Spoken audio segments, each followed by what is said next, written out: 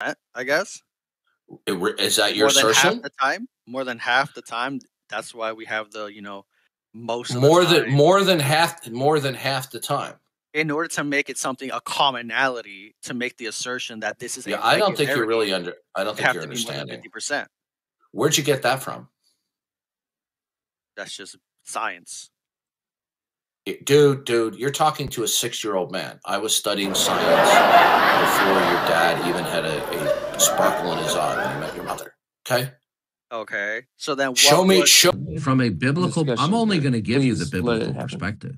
I want your perspective. I'm giving you uh, my perspective is the biblical perspective. Okay, you, you're And by the way, I'm sure you're aware that I only defend Christian theism. Uh, in Christian theism.